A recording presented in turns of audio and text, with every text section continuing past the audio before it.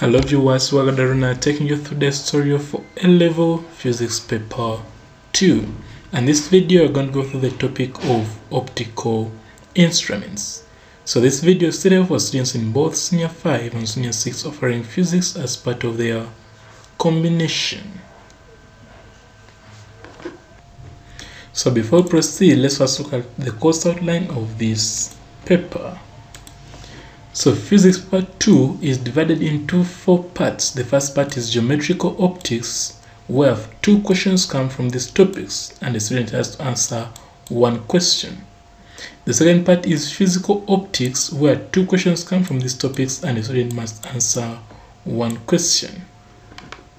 Then the third part is electrostatics and electricity, where three questions come from these topics. And the fourth part is magnetism and SC, where questions come from these topics. So it is up to you. You can choose to, to write to get two from here and one from here, or two from here and one from here to make the five questions. So on this platform, we are interested in the worked examples, but complete notes are available in this book called Mastering A-Level Physics Paper 2. It contains all topics notes, worked examples, and trial questions for all topics in physics paper 2. So for copies of this book, contact the author on any of these two contacts. But a complete set of physics has three books. The first book is Physics 1, then Physics 2, and the topical question bank. For Principal Mathematics, there are also three books, Math Part 1, Math Part 2 and the topical question bank. For subsidiary math, it is only one book and the rest are for all level. So for any of, the of these copies, contact the author on any of these two contacts.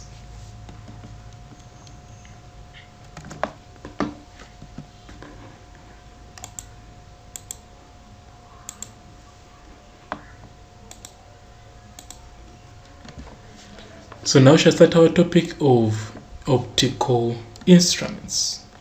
So the number of optical instruments we are interested in are five. One is microscopes, then telescopes, then prism binoculars, and photographic camera or lens camera, and lastly projection lantern.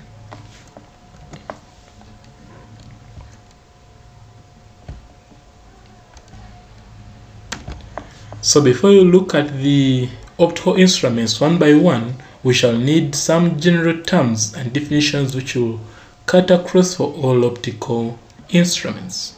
The first one is called a visual angle.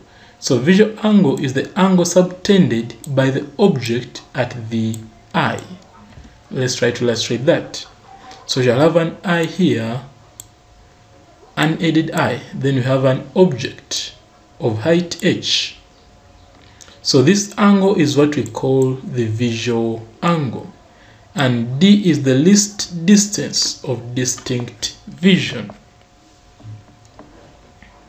So yeah, it means that this object is assumed to be at near point, where this is the distance for the object from the eye at near point. So can say that the eye can see the an object in its greatest details when it is placed at near point.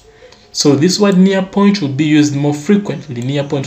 Each time you say capital D, just know that the object is at near point.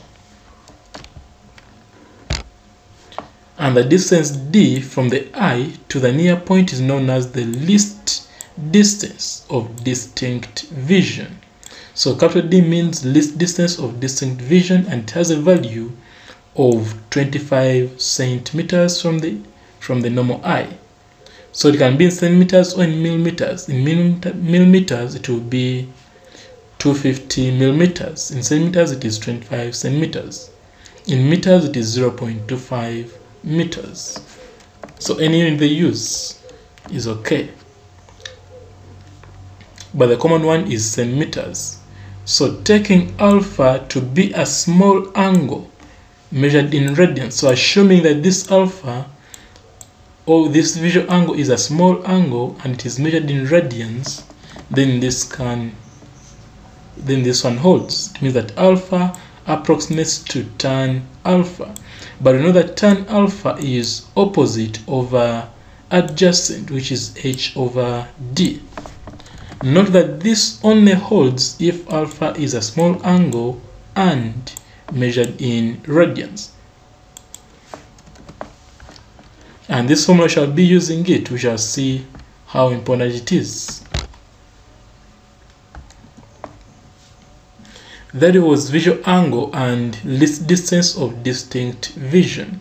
Now shall go the second term which is called angular magnification. Remember we have been used to linear magnification because in curved mirrors, in lenses, we're using the word linear magnification.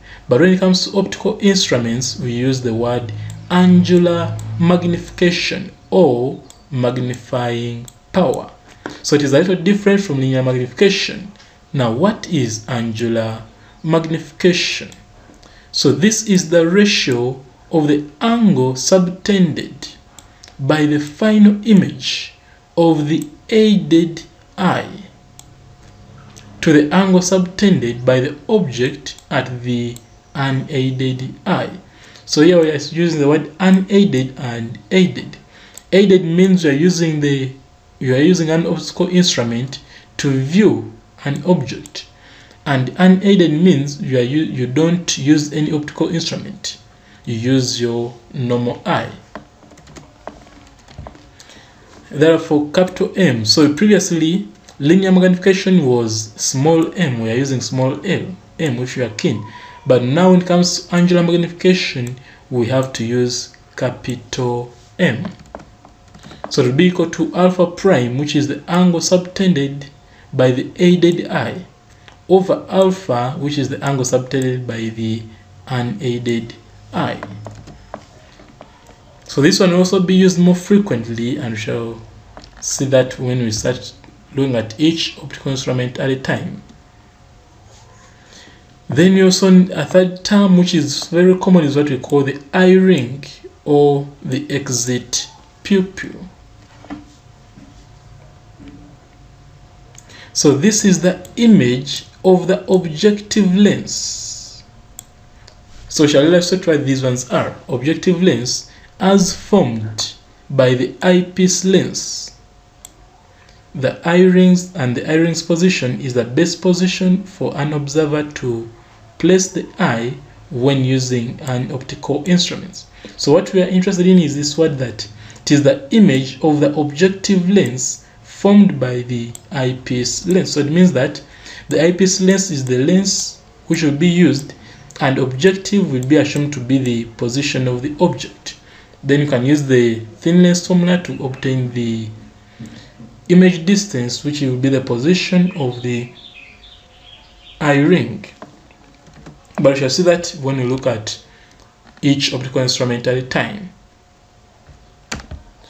So now shall start with microscopes. We are, we are going to look at them in order, microscope, telescope, and so on.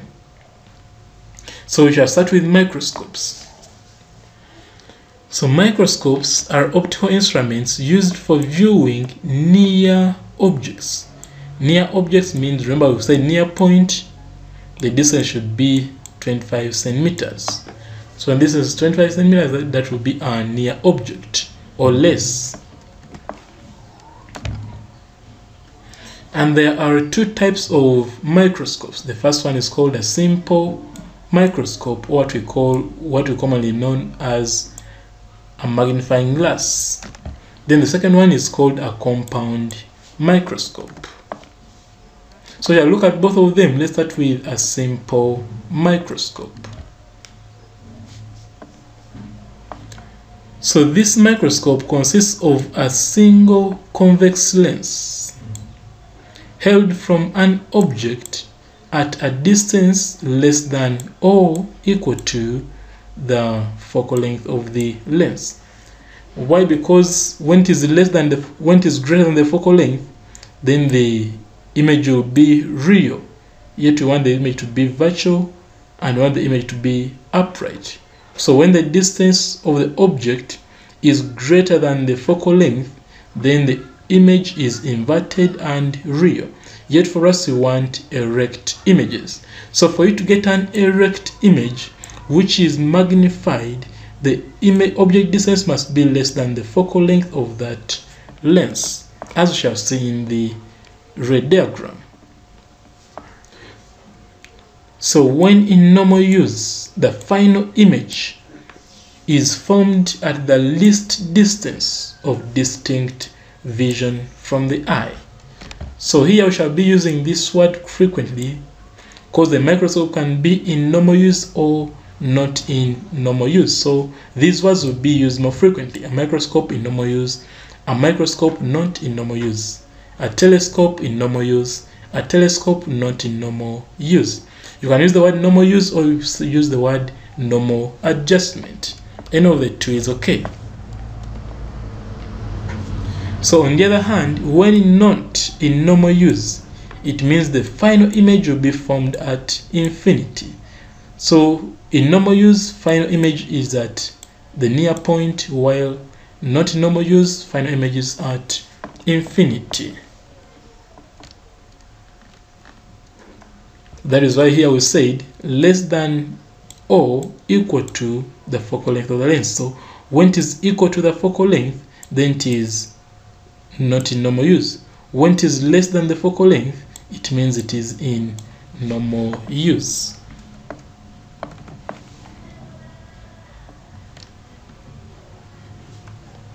So let's start with a simple microscope in normal use. So you shall remember that in normal use, the image found by the microscope is at the near point or the least distance of distinct vision from the eye. And the object must be placed at a distance from the lens which is less than the focal length of the lens. And in that case, the image formed will be upright. It will be virtual and also magnified in other words it will the lens will act as a magnifying glass. And that is what we are interested in. So suppose a convex lens L is used as a magnifying glass to view the same object. It means that an erect virtual and magnified image is obtained when the object is nearer to L than its focal length and the observer moves the lens until the image I is formed at near point. Remember, normal use, the image must be formed at near point. So you keep on adjusting the object distance until an upright, virtual, and magnified image is formed at near point of the near point from the eye or from the optical instrument. So with that knowledge, you can now illustrate draw our ray diagram. We shall have a convex lens. Then we shall put an object in front of this principal focus. Then you shall remember the rules for drawing ray diagrams of converging lenses. One is that a ray parallel to the principal axis is refracted to pass through the principal focus so it appears to come from the side. Then 2 a ray through the optical center is undeviated, so it is just a straight line and appears to come from that side. So this intersection will be the position of the image which is virtual and upright and with a height h1. Object had a height h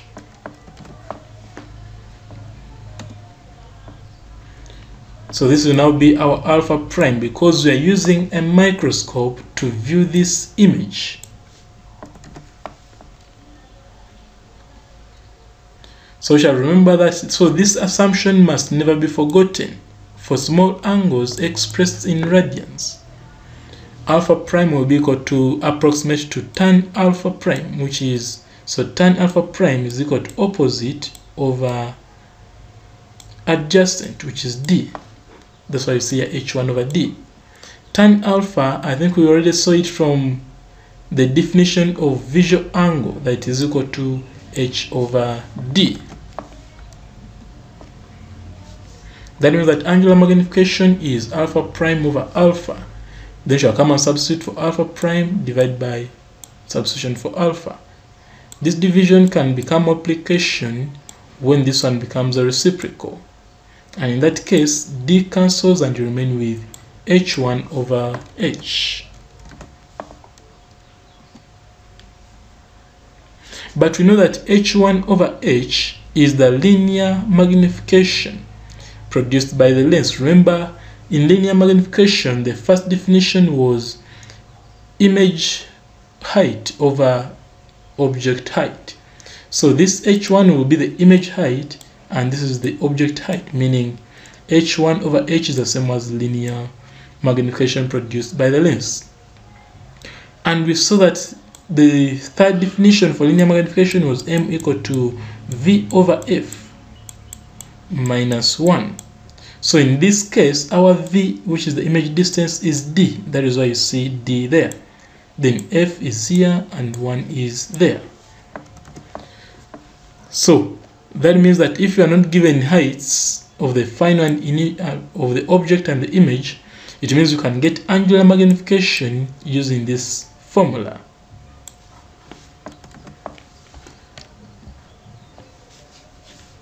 Okay. So with that, we can go through this. It says, if the magnifying glass has a focal length of 2 centimeters and the least distance of distinct vision is 25 centimeters. Find the angular magnification of this microscope in normal use. So in normal use, you have to remember the formula that it is d over f minus 1. But remember that d is negative because the image is virtual. f was 2 and then there is this 1. So when I use the calculator, I'll come up with negative 13.5 as my angular magnification.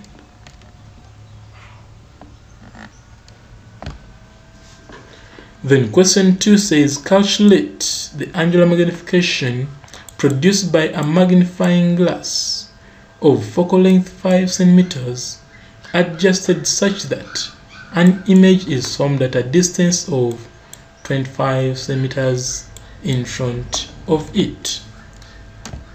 So still shall do the same. Code the formula, substitute and get the output.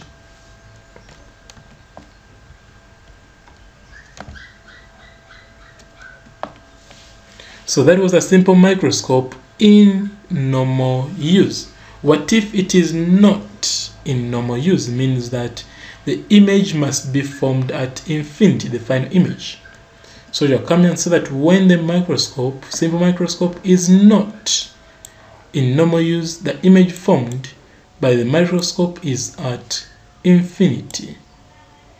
Then the object is placed at the principal focus of the convex lens. So you come and illustrate that.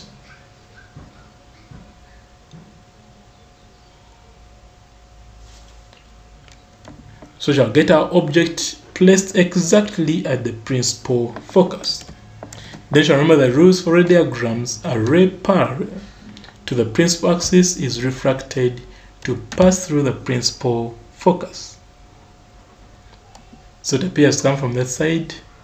Then two, a ray through the optical center is undeviated and appears to come from that side. So I think I realize that these lines never meet, meaning the image is at infinity.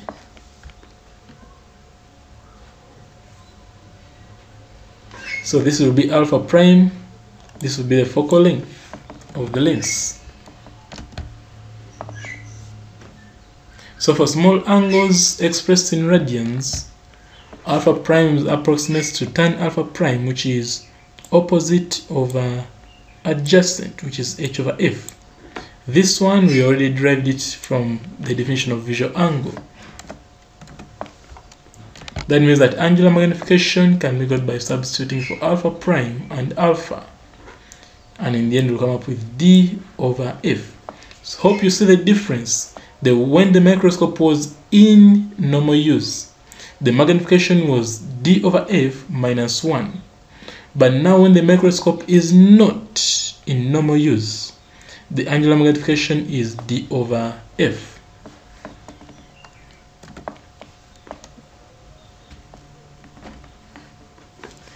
Okay, so we shall go through question 1. It says a thin converging lens of focal length 10 centimeters is used as a magnifying glass. Find the angular magnification when the image is at infinity. Infinity means it is not in normal use. So come and remember that not in normal use formula is d over f. So substitute for d, substitute for f to come up with the angular magnification.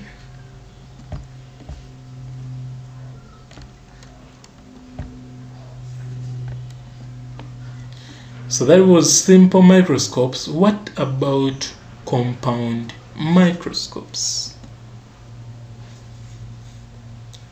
So compound microscopes consist of two converging lenses. Remember, simple microscope, it was a single converging lens. But when it comes to compound microscope, it is two converging lenses. And one lens is called an objective which has a shorter focal length f naught. And the second one is called the eyepiece which has a long focal length. So the objective is one which is closer to the object and the eyepiece is the one which is closer to the eye of the of the observer. So you'll be using those words more frequently objective lens eyepiece lens. And when in normal use the final image is formed at the least distance of distinct vision from the eye when not in normal use, the final image is formed at infinity. So let's start with the one compound microscope in normal use. So in normal use or in normal adjustment, the final image is formed at the near point at the least distance of distinct vision, capital D, from the eye. And that means that the object is placed at a distance greater than the focal length f naught of the objective.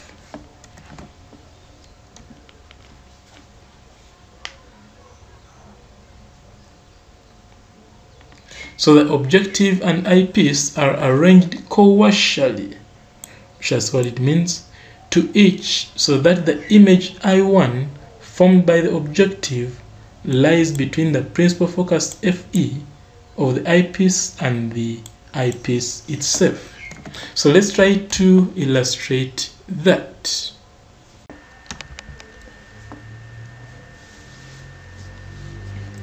So we shall have two converging lenses. One is the objective, another one is the eyepiece. This will be the focal length of the objective sorry principal focus and this will be the principal focus of the eyepiece. So you have an object finite object of height h. Then shall we use the rules for drawing rays for lenses. So a ray parallel to the principal axis is refracted to pass through the principal focus. Then a ray through the optical center is undeviated so this will be the position of the first image I1.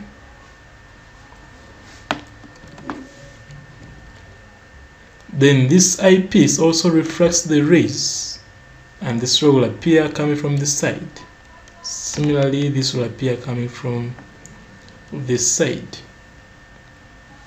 It is because the object, this one I1 acts as the object to the eyepiece and it is between the principal focus and the eyepiece.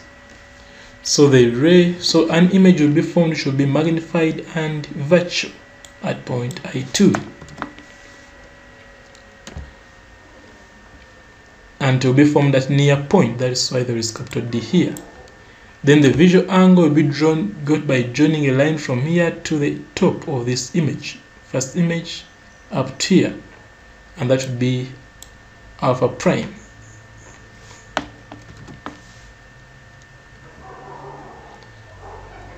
Then from here tier is V naught, from here tier is UE. So this V naught plus UE gives us the separation of the two lenses. So for small angles measured in radians, this assumption is needed.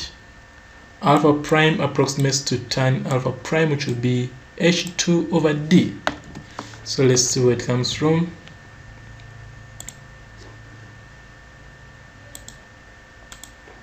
So this one is a right angled triangle. So alpha prime is equal to opposite over adjacent.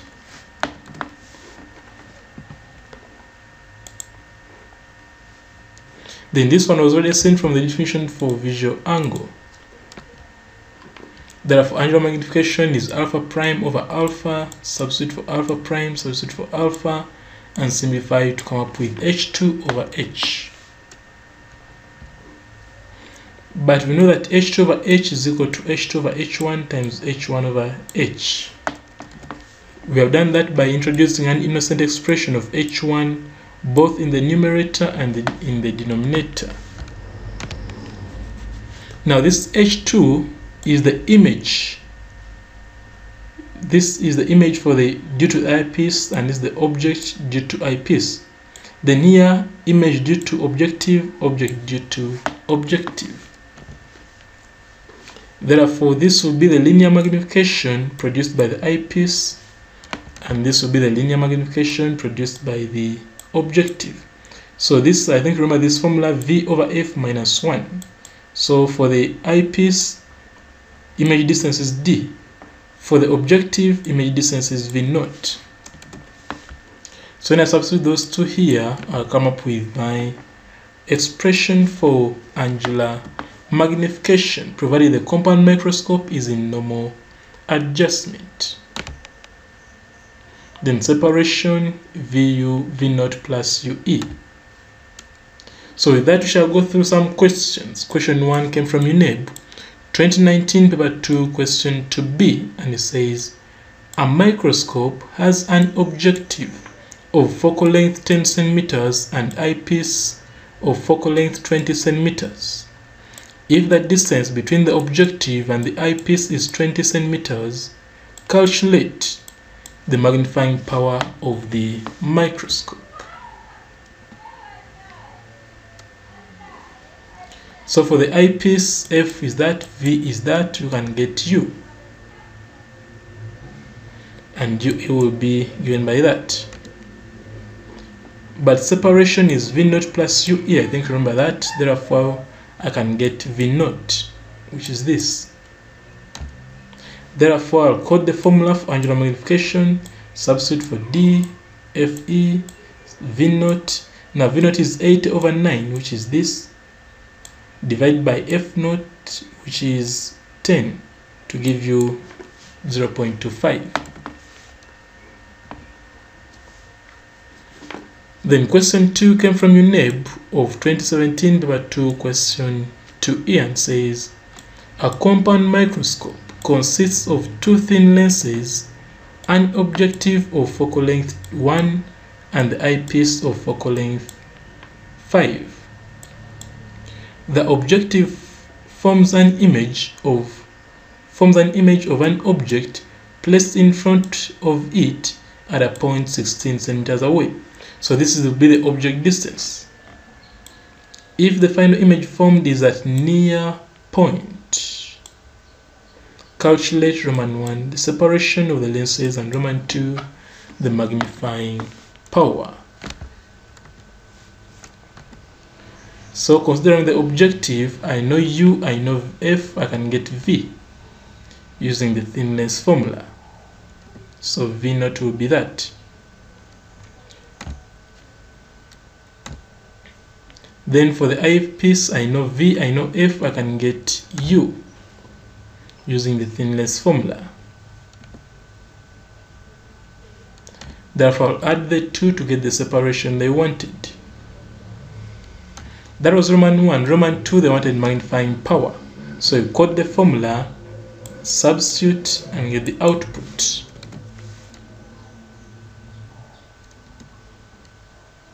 Alternatively, you can get it from this formula because this is the same as linear magnification and you still get the same answer.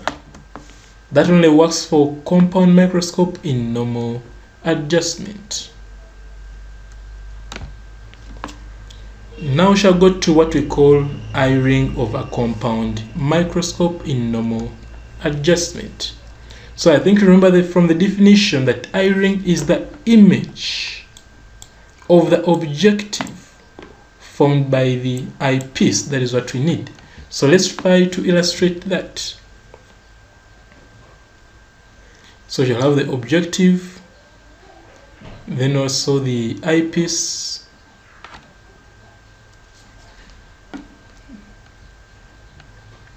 then shall have an object, then ref, parallel to the principal axis, refracted to pass through the principal focus, another one passes through the optical center and deviated, another one through the principal focus is refracted parallel to the principal axis. So this will be the position of the first image. Then after that they will be refracted by the eyepiece to be parallel. And so the image will be formed and this will be the position of the eyepiece to collect all the light rays.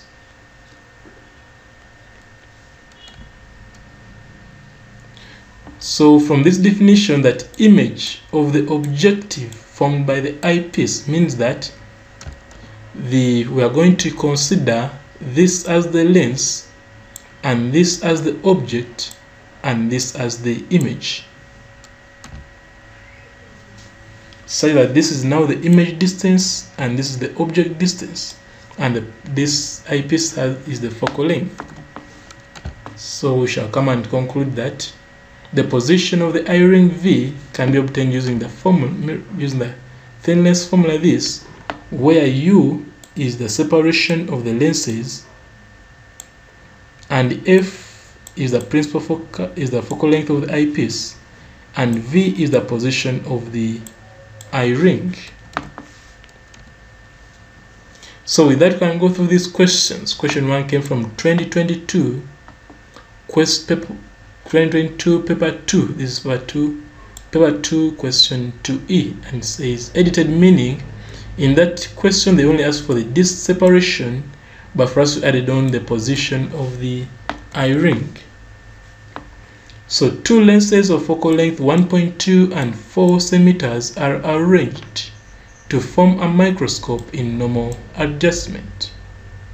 If the objective is placed 1.5 centimeters in front of the objective lens find Roman 1 the distance between the two lenses and Roman 2 the position of the eye ring so for the objective we know f we know u we can get v so v naught will be that then for the eyepiece we know f we know v we can get u so UE will be that. Therefore, separation is got by adding the 2. And that is Roman 1. Roman 2, they want the position of the eye ring. So the separation will now act as the object distance. So for the position of the eye ring, object distance is the separation and focal length is that of the eyepiece. Then you can get the value of V and that will be the position of the eye ring they wanted. Then question 2 came from UNEB 2000 paper 2 question 1D. Edited meaning is only wanted separation but added on position of the eye ring.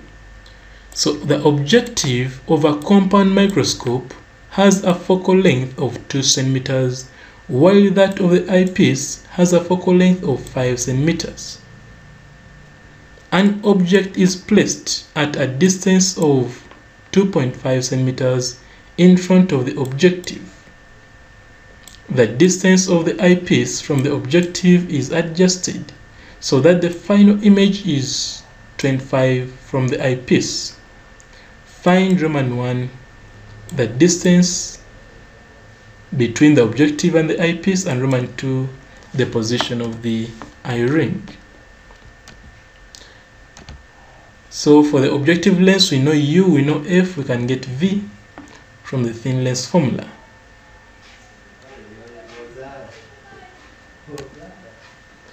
Then for the eyepiece, we know V, we know F, we can get U. And therefore we can get the separation by adding the 2. The Roman 2 position of the eye ring means that object distance is the separation and focal length is that of the eyepiece. So come and use thin lens formula to get the value of V and that would be the position they wanted.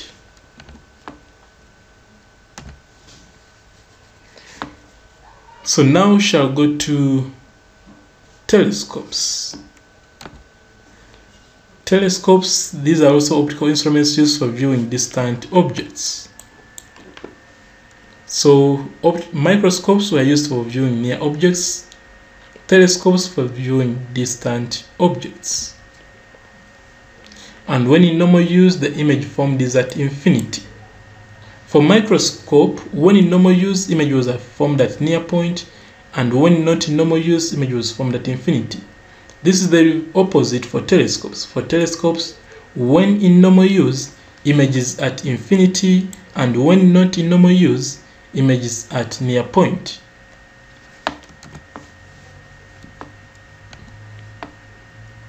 So there are two types of telescopes. We have refracting telescopes and also astronomical, sorry, and reflecting telescopes. So we are interested in refracting telescopes and also in refracting telescopes we are interested in astronomical and Galilean because those are the ones which have calculations. The rest can be found in the book which I've told you to buy. So let's start with astronomical telescope in normal adjustment. So in normal adjustment, the image is formed at infinity. So we shall try to draw a ray diagram for such a setting.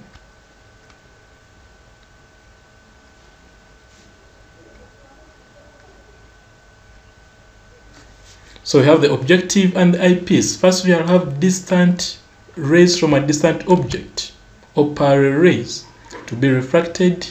The one through the optical center is undeviated, but this one is also, which is not through the optical center will be refracted.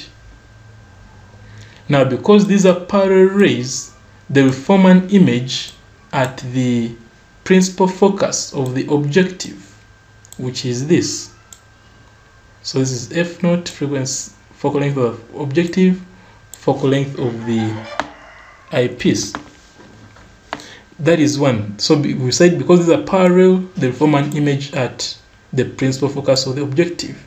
Then two, because we want the final image to be at infinity, it implies that this image is at the principal focus of the eyepiece. That is why you see this word f naught, comma fe, meaning that this is the same position for the principal focus of the objective and also for the eyepiece. Now, because it is there, the final image will be at infinity. Now, this line is drawn to help us draw our parallel lines. They should be, the rays from here refracted must be parallel to this line. So this is what I'm meaning.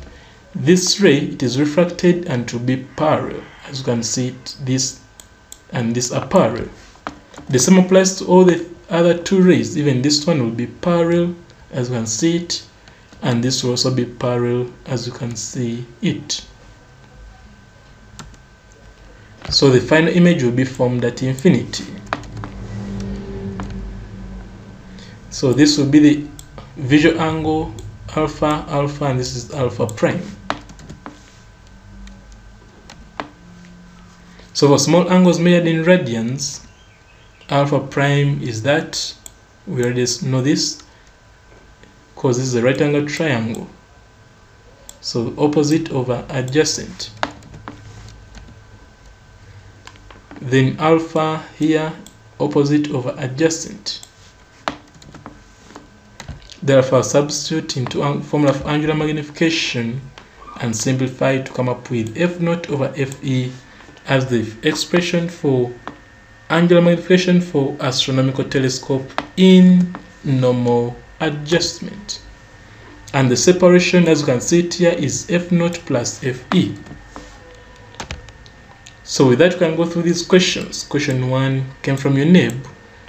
2004 paper 2 questions 1 C and says find the separation of the eyepiece and objective of an astronomical telescope of magnifying power 20 and in normal adjustment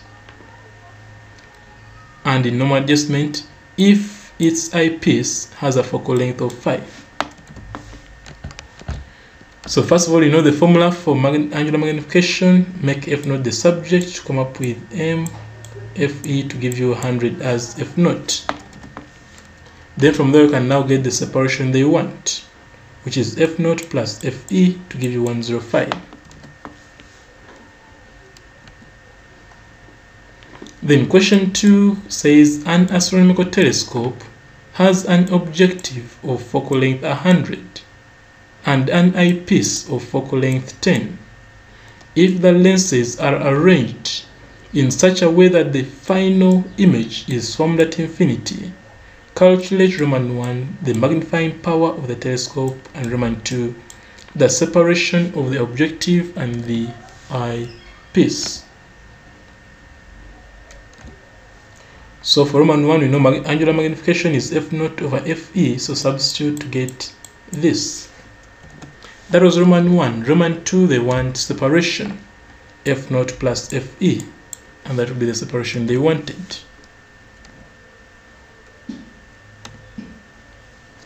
Now shall go to eye ring for an astronomical telescope. Like we all know, eye ring is the image of the objective formed by the eyepiece. So the concept will be the same as the one for microscopes whereby the object distance will be the separation of the two lenses and the image distance will be the position of the eye ring and the focal length will be the, that of the eyepiece. So we shall get parallel rays which will be refracted. So that will be the first then the second one and the third one. So that will give us the first image i1 at the principal focus so that the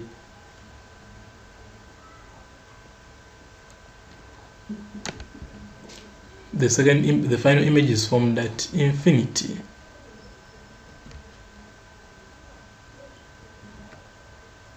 so we shall have those refractions and this will be the position of the eye ring at a distance v from the eyepiece.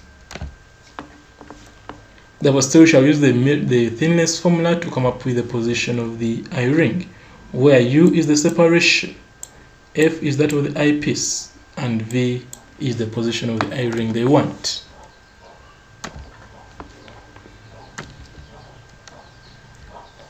So in microscopes, it we were only asked for position of the eye ring but in telescopes they can also ask for the diameter of the eye ring so when that is asked you should remember this relation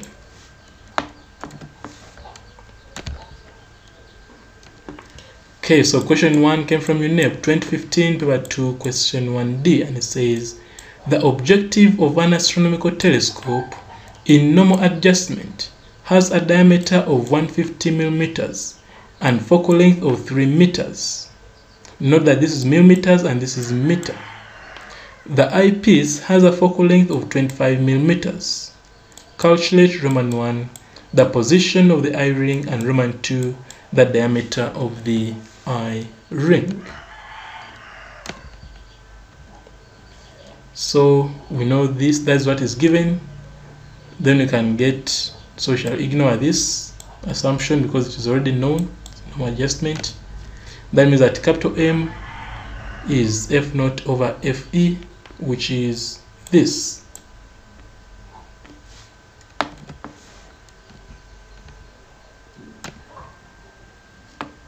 So for the position of the eye ring separation is this which is this and focal length is that. So v can be got from thin lens formula and that will be the position of the eye ring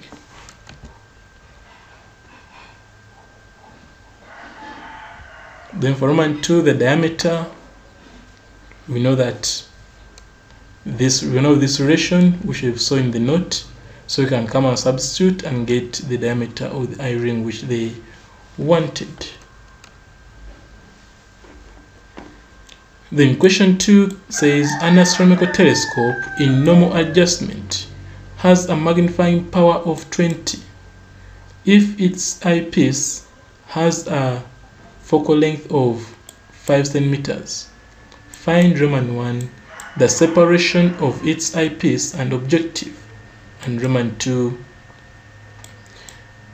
the position of the eye ring the position of the eye ring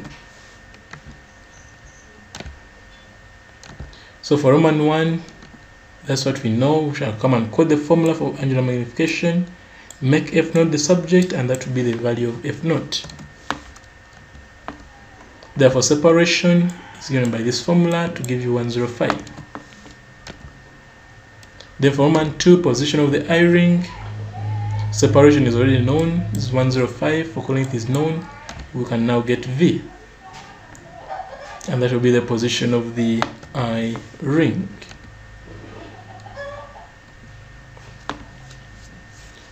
So that now we shall go to astronomical telescope not in normal adjustment. So the one which was in normal adjustment, the image was formed at infinity.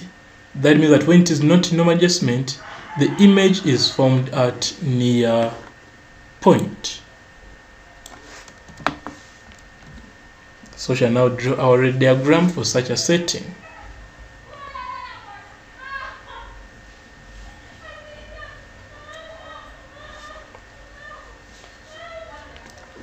So we have an objective and the eyepiece. We shall then get the power rays refracted, the one through the optical center and deviated, then a third power ray which is refracted to form an image at this point.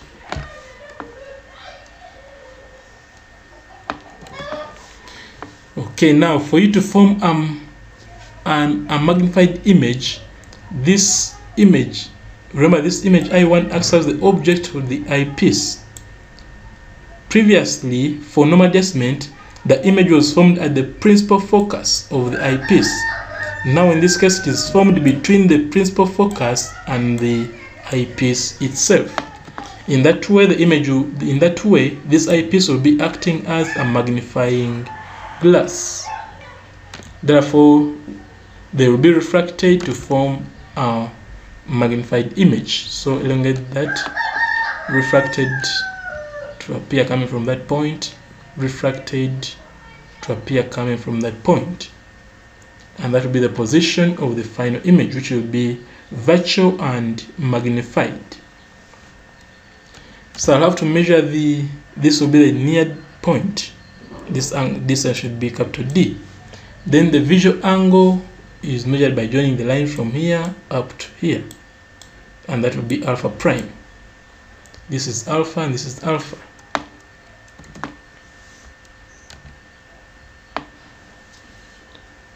So we know that F naught and we also know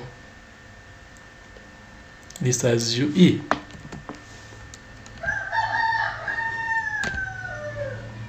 So for small angles measured in radians, alpha prime is that. I think we now know where they come from. Therefore, angular magnification is got by substituting for alpha prime and alpha and simplify to get this. So 1 over UE can be got using the thin lens formula. then the separation is f naught over ue. So I think the difference, angular magnification is f naught divided by ue. Then separation is f naught plus ue. So that, we can go through some questions. Question 1 came from UNEB. 2007 paper 2 question 2b and says the objective and eyepiece of an astronomical telescope have focal lengths of this and that respectively. Find the separation of two lenses if the final image is 25 from the eyepiece. So for the eyepiece, we, hold, we have F and V, meaning we can get U.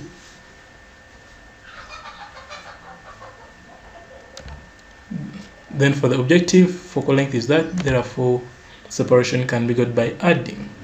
And that will be the answer they wanted.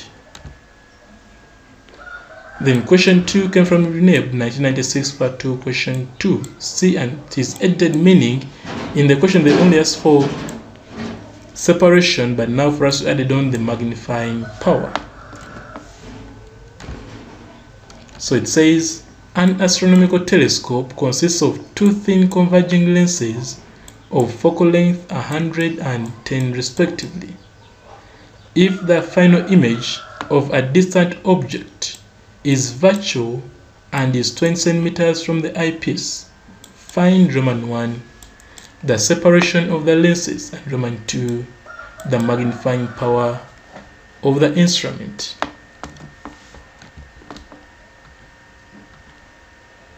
So for the eyepiece, we know F and V, we can get U. We know the focal length of the objective, meaning separation can now be good. Then for magnifying power, 1 over, remember magnifying power is 1 over u e times f. 1 over ue is this, and f naught is 100. So I'll come and say that magnifying power is 1 over ue times f naught. 1 over ue is 3 over 20, f naught is 100 to give you 15.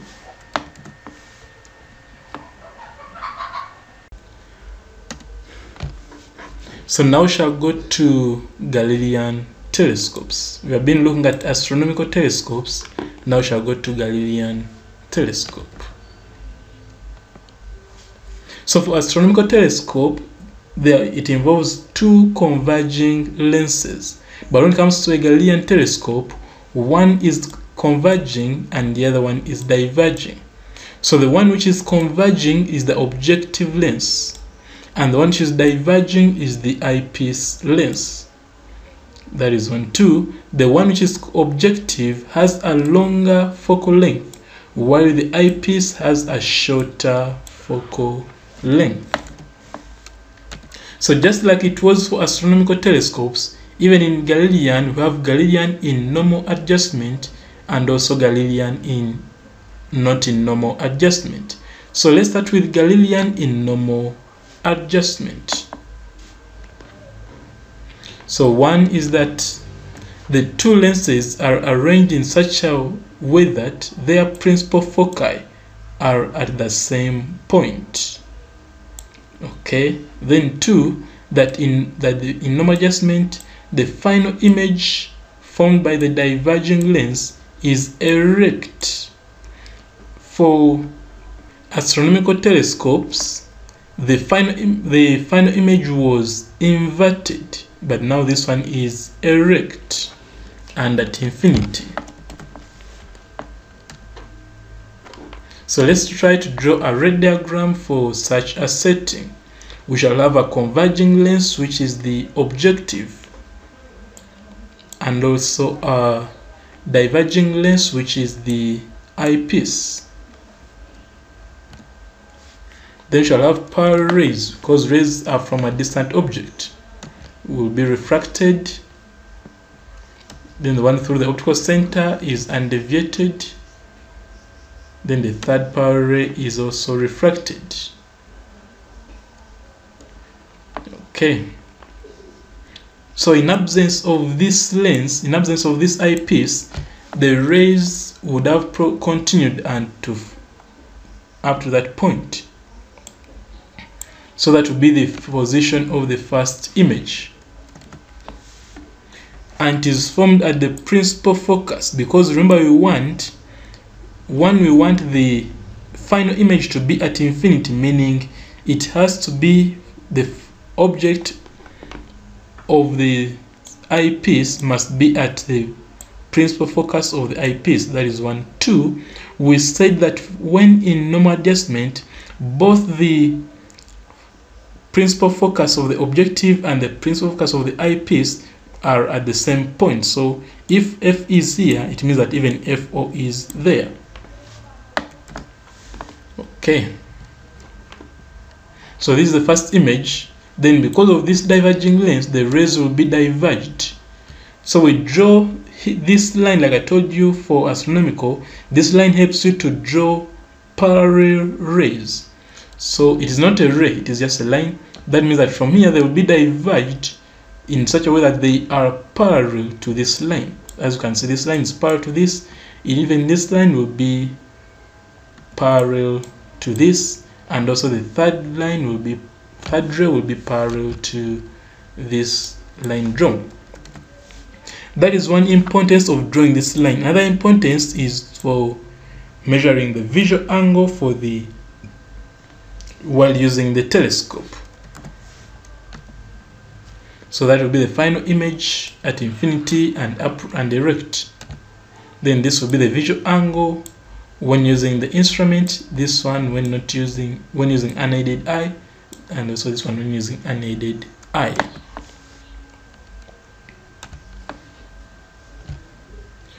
So the distance from your to is the focal length of the objective and from here here the focal length of the eyepiece that means that the separation will be f naught minus fe where f is the magnitude, is in magnitude form. So for small angles measured in radians, alpha is that, and tan alpha is that. I believe by now you know. Then you can substitute in the formula for angular magnification. Alpha prime, alpha, then simplify to get this. So what does that mean? It means that as long as it is a telescope, it means that in normal adjustment, the formula will be the same for all. Astronomical, Galilean, they have the same formula when in normal adjustment, that is 1, 2. Astronomical and Galilean have the same formula when not in normal adjustment, as we shall see. So I think this formula was the same formula we got for astronomical telescope in normal adjustment. What will differ will be the separation the separation is equal to the magnitude is equal to the, the separation of the, is equal to the difference in the magnitude of their focal lengths. So here I've put magnitude sign because focal length of a diverging lens is usual is negative. So I put magnitude to make it positive.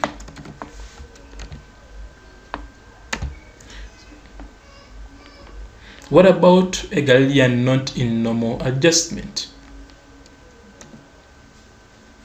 So when not in normal adjustment, the final image is formed at, the, at a near point.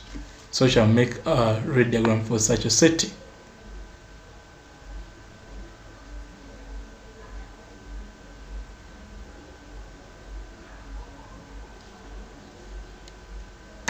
So we have the objective and the eyepiece, then rays will be refracted the first ray, then the second one undeviated because it is going through the optical center. Then the third ray will be refracted. So in absence of the eyepiece the rays will proceed to converge at that point and that will be the position of the first image I1 but because of this lens the ray will be refracted further. Diverged further so shall to be refracted to appear coming from that point. This one also refracted to appear coming from that point. This one also refracted to appear coming from that point. So this will be the position of the final image which is upright. So we need to measure the visual angle, which will be alpha prime. And this will be the visual angle for unaided eye.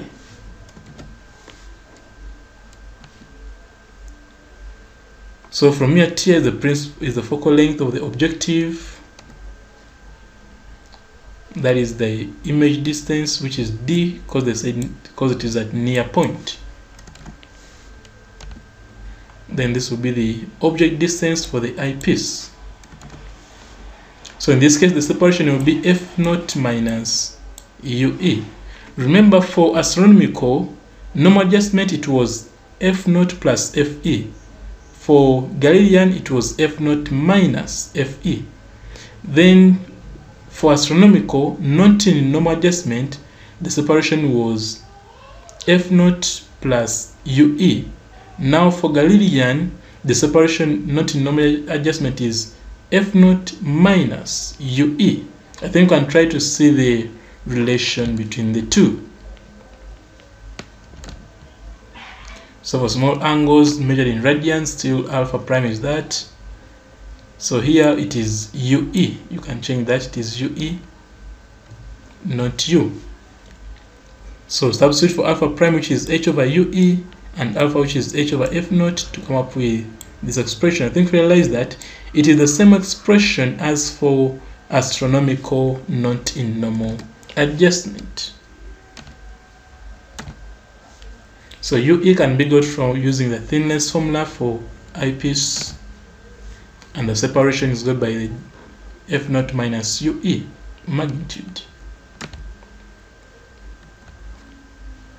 So with that, we shall go through these questions. Question 1 came from UNEB of 1999, paper 2, question 2C Roman 2 and it says a convex lens of focal length 60 centimeters is arranged coaxially with a diverging lens of focal length 5 centimeters to view a distant star.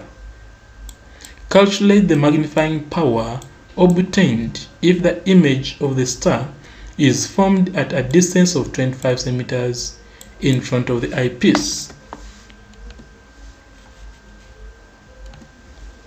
So for the eyepiece, we know V, we know F, we can get U. Actually, what we need is 1 over U because magnifying power is 1 over U UE times F naught. So magnifying power is 1 over U times F naught. 1 over U is this, F naught it was given as this. So that's what they wanted. Then question 2, a Galilean telescope has an objective lens of focal length 12 centimeters and an eyepiece of focal length 5 centimeters.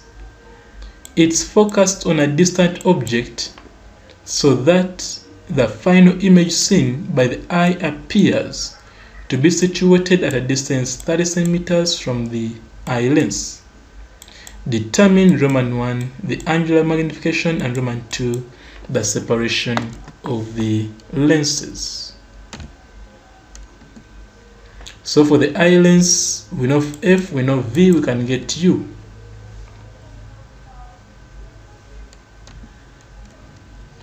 Then for the objective, we know that therefore angular magnification will be 1 over UE times F naught, which is negative 2. That is Roman 1. Then for the separation, we shall be F naught over F naught minus UE. UE is negative 6, but magnitude will be 6. So we'll come up with 6 as the separation of the lenses. So now that was telescopes, now we shall go to prism binoculars. So a prism binocular consists of an astronomical telescope containing two right-angled prisms between the objective and the eyepiece. And the purpose of these two right-angled prisms is to invert the image and obtain a final erect image formed at the principal focus FE of the eyepiece. So I think you realize, you remember for astronomical, the final image was inverted and magnified. what if you want to make it erect so in this case we use a prism binoculars to help us to get an erect image so we shall now draw make a sketch of how the prisms are arranged and we see how they can for get a get an erect image from an inverted image. So this is prism A this is prism B. So rays from rays will from the objective will be in the, in that form. We are using two arrows to show how they can how the inverted image becomes erect. So this if this is the tail and this is the top the head to imply that now for now this is the tail and this is the head the one with the one arrow. When they reach here there will be there will be total internal reflection to meet the second reflect, reflecting surface. Then from here they will again be reflected totally to meet the sec to meet the second prism this face. So this face i think you see now it is still in it was in this form now it is also still in that form. But when it reaches this one there will be reflection. This will go down then there will be reflection. Now here i think realize what was the tail. It was in this form but now the double arrows are down and the single arrow is up meaning it is now in this form. So in that way it has achieved the purpose of inverting. It was uh, it was inverted but now it is upright. So that is the purpose of the prism binoculars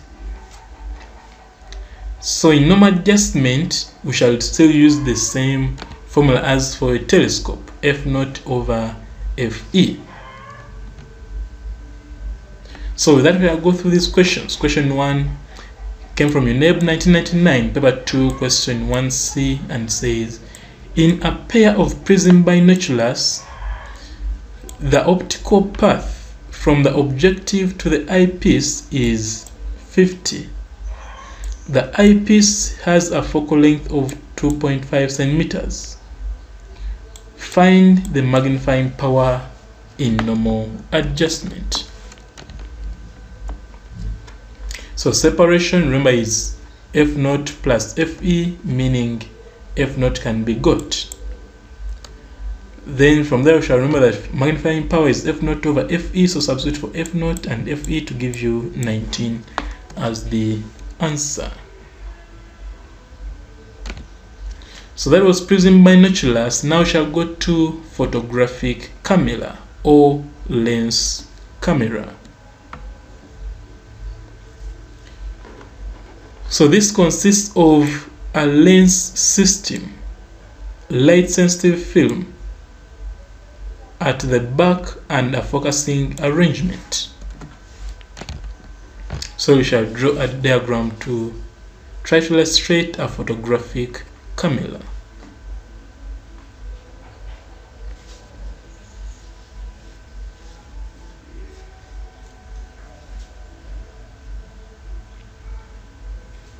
so we shall have this as the lens system this as the aperture this as the focusing ring film spool film light proof box shutter diaphragm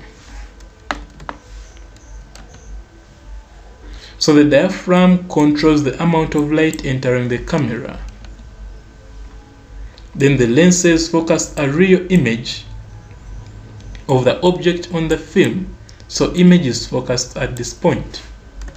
So lenses means we can use the formulas for thin lens formula. Then the film has a light sensitive chemicals on which the image is stored. So my interest is that the real image is formed on the film. So each time you see the film, just know that that's where the position of the image is. And with that, we can go through this question. Question one, a camera has a focal length of 50 millimeters. If it can form images of the objects from infinity down to 1.5 meters from the lens, calculate the distance through which it must be possible to move the lens. So we know the focal length is this.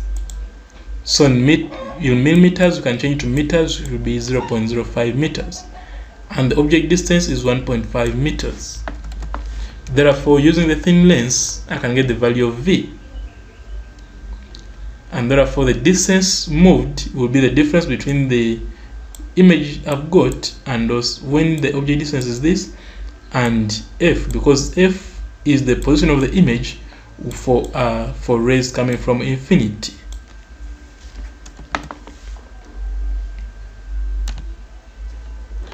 Then question 2 says a camera lens consists of two simple lenses, a convex lens of focal length 3 centimeters, 1 centimeter in front of the concave lens of focal length this. How far behind the concave lens must the sensitive film be placed, remember film is where the image is stored, be placed to give a clear photograph of an object 10 centimeters in front of the concave lens. Then Roman 2, what is the magnification produced by the lens system? So here we shall need to make a sketch. So for the convex lens, we have view we have f we can get v using the thin lens formula and v will be 4.2857 and that, that we have v1 we can get we can draw our ray diagram.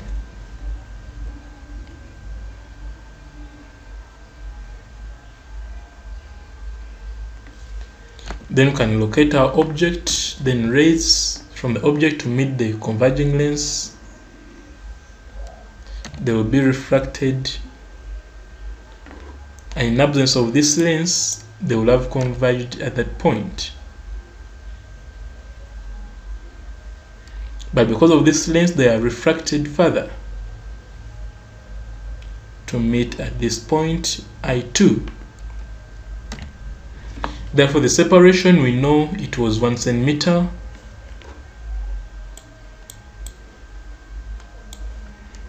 Then the object distance we know it was 10 and the Im image distance using the converging lens was this meaning the balance will be this minus 1 to give you this and the final image distance will be v2 because we do not know it meaning we have to calculate it. So for the concave lens, U2 is that, F is that, we don't know V, so you can get it using thin lens formula. Therefore V2 will be that. That means that the sensitive film must be placed this centimeters behind the concave lens to give a clear photograph. Then Roman 2, Roman 2 they want the magnification. So effective magnification of two lens systems is the product. So V1 over U1 times V2 over U2 to give me 0.9474 as the answer they wanted.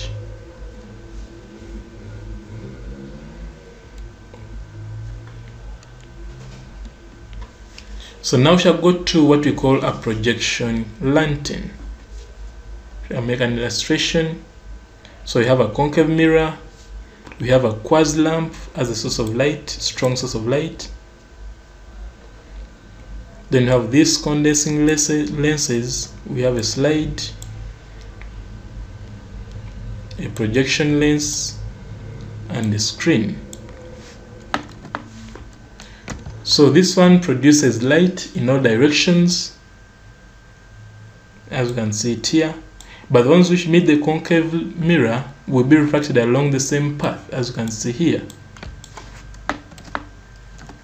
meaning that all the rays will go to this to, to will meet the condensing lens and at the condensing lens there will be refraction in that direction. Then at this point there will also be refraction. So here it means that the optical center meaning it will be undeviated. So that means that the object here will be focused here on the screen the image will be at the screen and to be you know. This was up inverted this will be erect.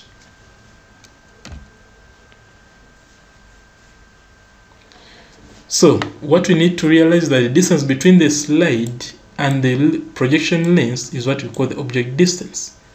And the distance between the projection lens and the screen is what we call the image distance then from there you can use the lens thin lens formula. So the quartz lamp is placed at with its filament at the center of curvature of the concave reflector. Then the concave reflector prevents loss of light. Light from the source is reflected back onto the condenser which concentrates it onto the film the region where the slide is to be placed.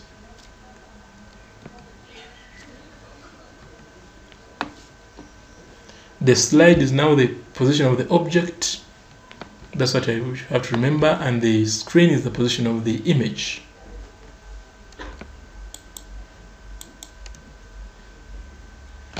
So that means that the formula for the formulas for linear magnification of lenses can all be used but there's one more which will be added. That is linear magnification is equal to area of the image over area of the object. Remember we are using height of the image over height of object but now we shall use area of the image over area of the object. Now we put square root because we want to get linear. This alone is what we call the area magnification meaning linear magnification is good by getting the square root. Also shall remember that this is also vital, this, this is also m, m is equal to that. So we shall, with that we go through these questions. Question 1 came from UNEB 2020 paper 2 question 1d and says the focal length of a projector lens is this if a magnification of 300 is required, find the distance of the screen from the lens. That is now the image distance to the distance between the slide and the lens. That is now the object distance. So you first get the image distance from this formula, make V the subject, you come up with V as that. Then from this formula make you the subject will come up with you as this. And that's what they wanted.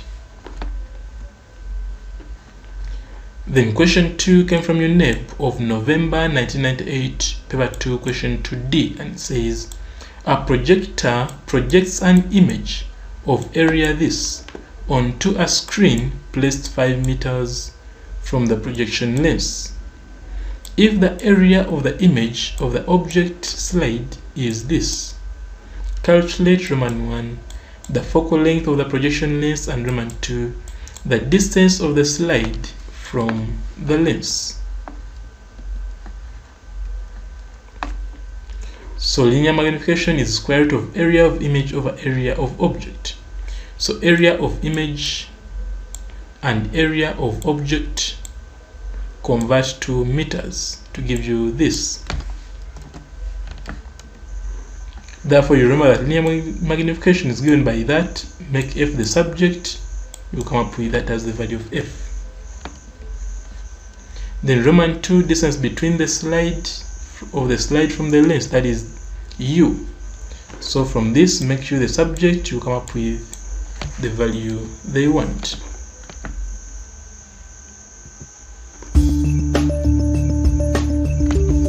so that brings us to the end of this video. Thank you for watching and be reminded the next video will be on physical optics or what we call waves so if you have not yet subscribed please click on the subscribe button below this video so that you can receive updates when the next video has been uploaded. And also if you know of any student who's not yet on this platform please share the link of this video with them via social media platforms like facebook and whatsapp so that we can all benefit as a family